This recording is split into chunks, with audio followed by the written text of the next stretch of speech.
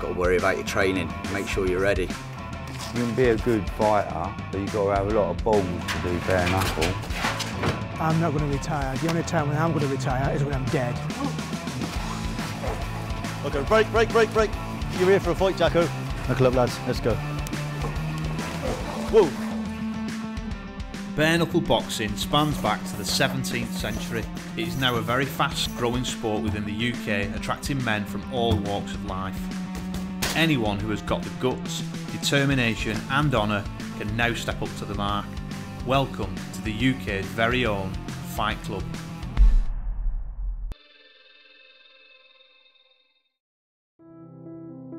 Within South Yorkshire sits the small market town of Doncaster. Historically, it still belongs to Scotland as they took the town and it was never formally given back.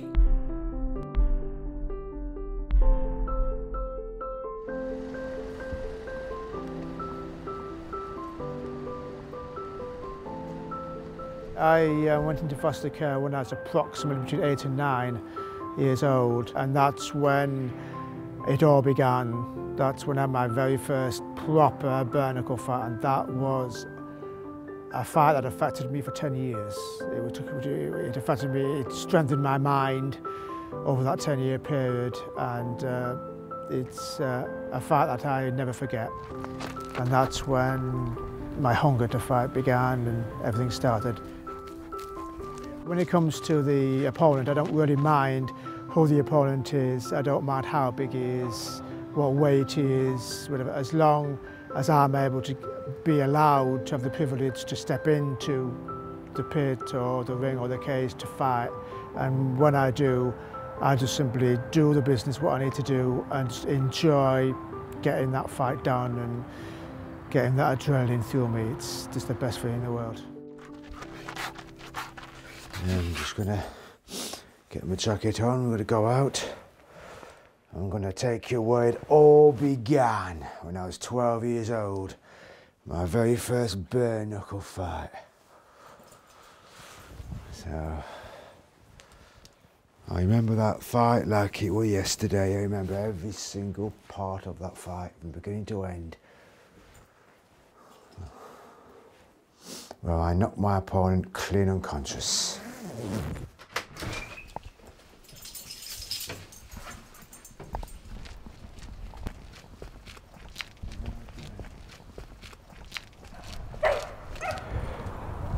So um, from 1984 to 1986, I lived in this childcare unit, Rosedale Gardens. I was sent to the childcare unit because I was told later that I was uncontrollable and my mother couldn't control me at all. I was too hyperactive, too aggressive, too out of control. I didn't deserve to be in care, I didn't deserve to leave a family, but my family decided to simply abandon me. That's how I felt. Matthew's traumatic upbringing resulted in him going into care at an early age and then later on becoming homeless. He slept rough anywhere he could, including woods and even graveyards. This is where I spent two nights on the streets. Came here wanting to crash out and uh, two guys here just to the entrance here and uh, they chatting me up and didn't realise till later that they actually wanted sex with me unfortunately. So I left and uh, went elsewhere. So uh, came back later and then everything's okay. So spent two nights here. But every day was a struggle. You know I've always uh, struggled with most things when it comes to it. I've just persevered never quit just keep going. That's what I've always done. Even when I've been homeless when I've been doing anything I want I've always persevered. Uh, I got into uh, boxing because um, when I was a teenager I was getting into a lot of fights, a lot of forced fights where people would just simply attack me just for the fun of it basically. So um, in order to defend myself I would defend my food, my bedding in inverse bed sits where it was real hell for me. So then I, I then tried fighting back and enjoyed the buzz, enjoyed the, the kind of fighting. Solar plexus. That uppercut. uppercut, uppercut. And what I've done is I- I've had to, um, after returning to the fight business, I've had to take two years to try and get myself fit to, a- to a point where I can actually step up into the cage or the ring or the pit. It's very important to me that I want to get back what I lost.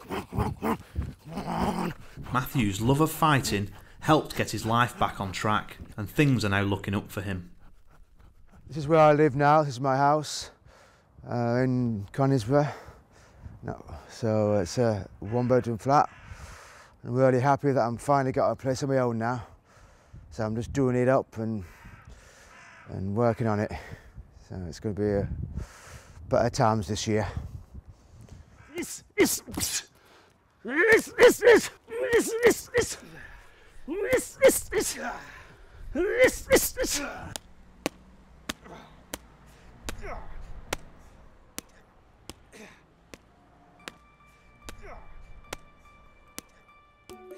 The Cotswolds is famous for its natural beauty, and nestled within a sleepy town of Milton is a new and up and coming fighter.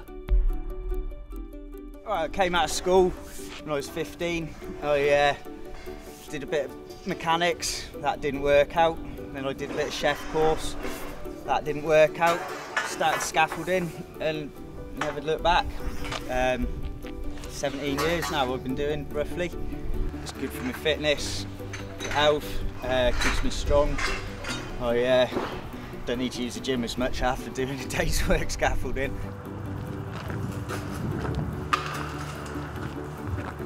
Um, speed. Yeah, I'm pretty quick. I've always always been pretty athletic and speedy.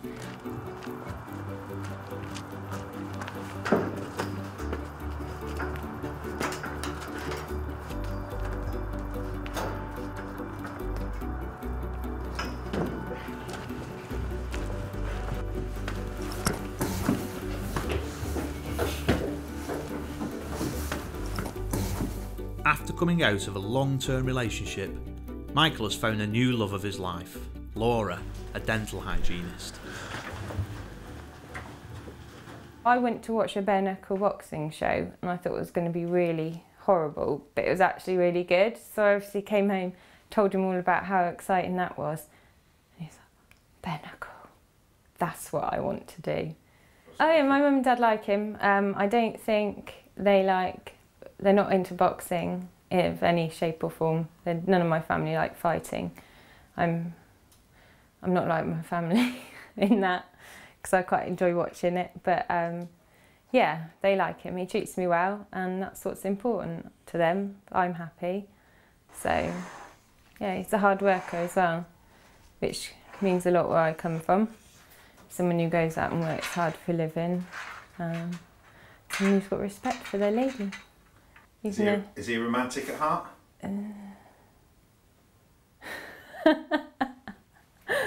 Uh, y- nah, he's got his little ways. I don't. I do feel love. My girlfriend, she's um, she's excited for me, but she's a little bit nervous as well. She's she's worried. She doesn't doesn't know what's going to happen, but I know what's happening. I'm winning.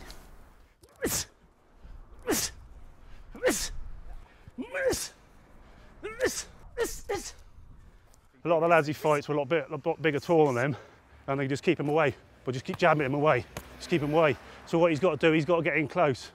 That's the way he's got to fight most people. So I would tell him he gets him up against the ring here, body shots, body shots, then they bring the arms down, then over the top. So it's, it's, it's, it's Ah, like that. It's, it's, it's. Do I ever worry about who I'm fighting? I haven't really got time to worry about who I'm fighting. Just got to worry about your training. Make sure you're ready.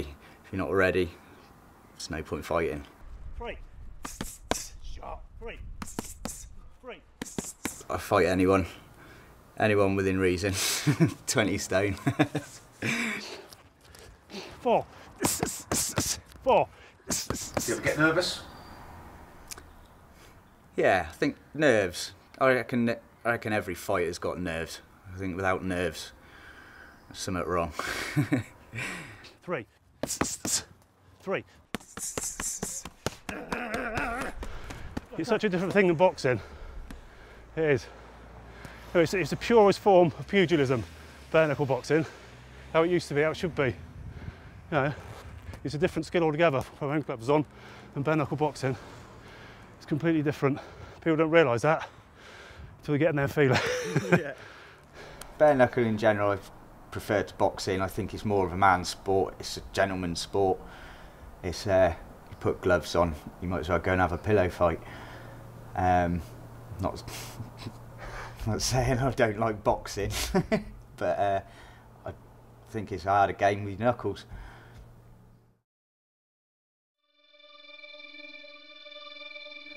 Whenever I'm walking up to a ring, the only thing that I think about is the damage that I'm going to do to my opponent and to get that win. Coming up, will the new boy prove a worthy opponent? When it's the face off and we're in the ring, he's not going to get a word. He's going to be reading my eyes and he's going to know he's going down.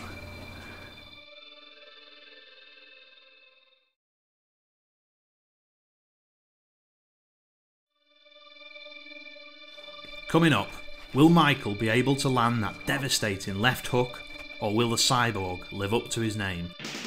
When I'm in the fight, I really need to hit my opponent and I feel like I need to damage him to get that win because that win is more important to me than anything else. I'm going to hit him that quick and that hard, he's going to think he's surrounded.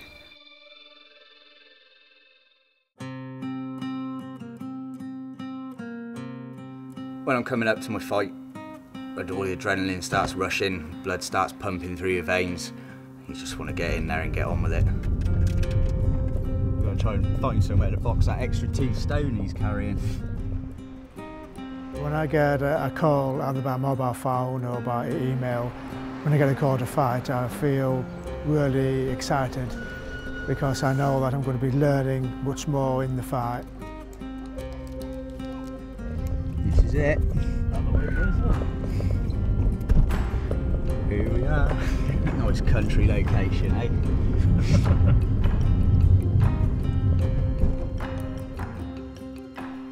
After training hard, the two fighters finally meet. We all ready for this? Yeah. That should be a good one. Fair play. Let's do it. Let's do this. Come on then. lads. Michael, good to see you again. How you doing, you mate? alright? Right, bruv? You well? Yep. Ian, how's it going? Jeff, how you doing? Right, we're going down here. This is where it's going to be.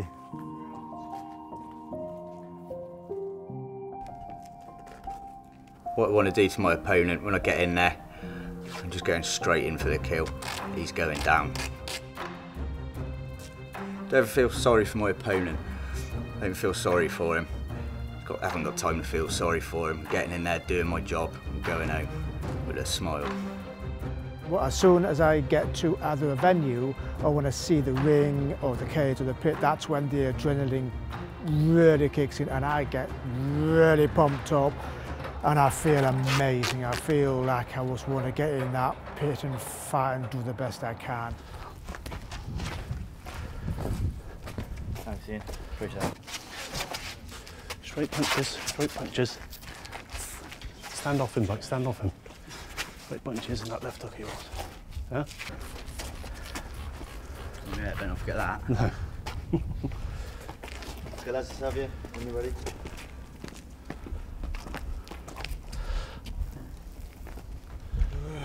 Okay, lads.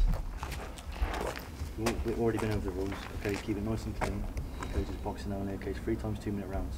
Okay, when I say break, you break. Stand back. Okay. Okay, touch gloves. Shake hands. Good man. Okay. Ready? Okay. Knuckle up. Let's go.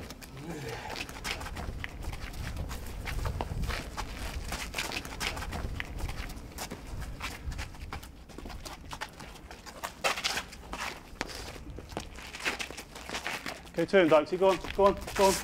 That's it, go on. Whoa. Nice on that. Okay, carry on.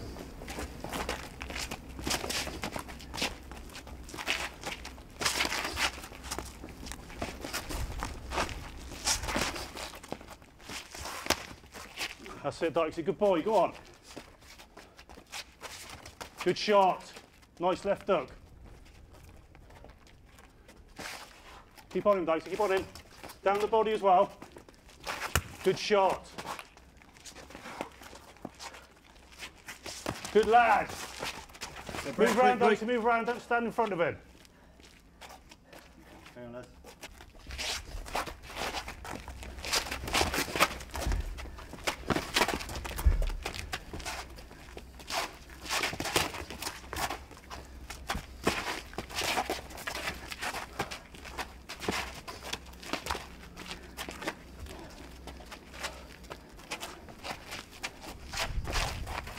Good shot.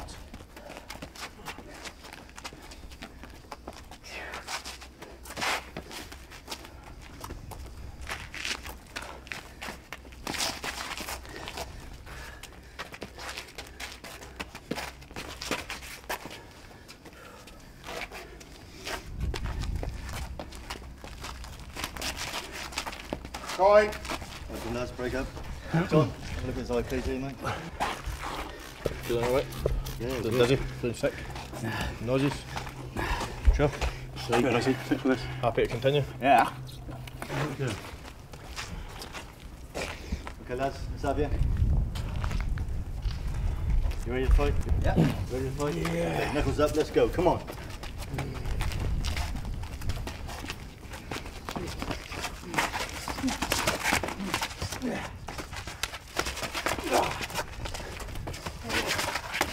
Good lad.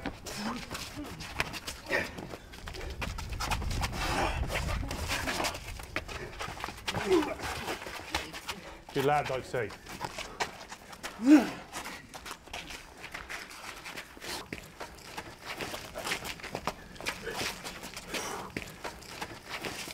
Shot.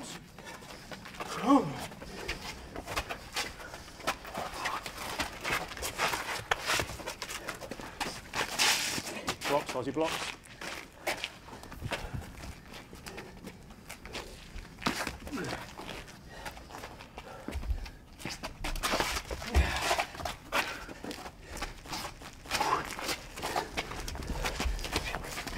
Hands up. One second, whoa.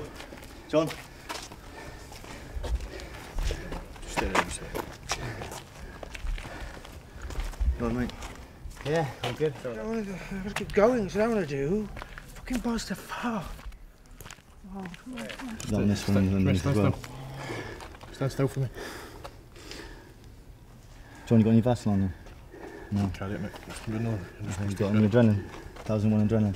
Who was I've got. I've got an adrenaline pen, but I ain't using it for this. Oh, No, no, no. It's, it's, it's liquid. fucking hell, man. Oh, come on, come on, come on. Oh. Go. Let's have a look. Let me see. Let me see. Let's see if practice makes me able to carry on. it. Insurance when I cover it.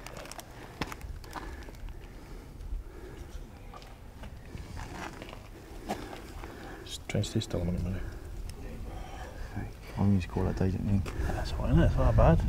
You've got a stitch you can just put in it. I'll put, I'll put, I'll put Steri-Strips on it for you, mate, but I'm no. That's swollen up there. It's above the Um, eye. The blood's going to go into the eye when you're fighting. The bottom one's swelling up as well. You get hit on that there, your rip eye's going to rip open, and you could be out for months. I'm saying that you call a, it he's a referee, mate, at the end of the day. No, I'd Right. fucking gutted, but That's the way it goes, buddy. now you're in the game. Yes, it is. Yeah. Get into it. Close this for you in a second. Hold on there, Doctor. Put your hand there. Keep it there. He's definitely had a good opponent. He's definitely got his name Cyborg for a reason. Matthew. So you okay? He's all right, Matthew. He's all right. Okay. We've got that eye now. Matthew Thorn's the winner on a cut eye. Thanks, lads. So you're all right, There's, uh, it just doesn't seem to hurt. Fair play to him. Um, got a bit for my- second fight. Absolutely loved it. Can't get enough of it. Well up for doing it again. Shame I got put out because my eye. Got to listen to the doctors. They seem to know best. He's got a lot more experience than me. And I think the better men you fight, the better you become. There's no point starting fighting off all these little guys. Just chuck yourself in the deep end, let's have it. What the fuck's wrong with me? Mm, I know I could have done a lot better than what I did. He got a lot of good hooks in there. What's fucking wrong with me? Fucking footwork was shit. I've done so much better in my training. My pivoting, my footwork was rubbish. Such good opportunities. Bastard.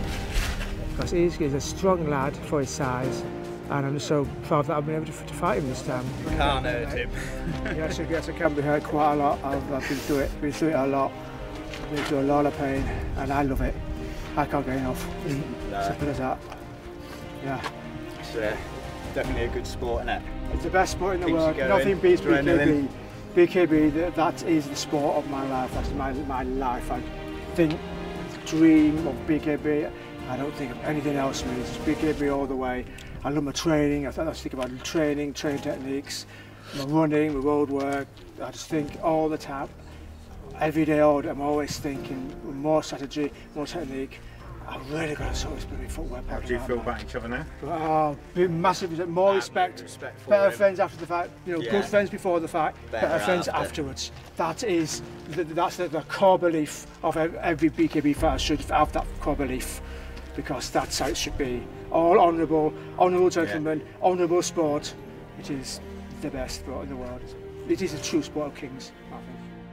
What makes a good bare knuckle fighter? I think someone with no fear, someone that's willing to give everything they've got, go all the way. What, what makes a, a good knuckle boxer and fighter is um, the good attitude, honourable attitude, always a respectful attitude to the opponent, to the ref, to the promoter and to the fans.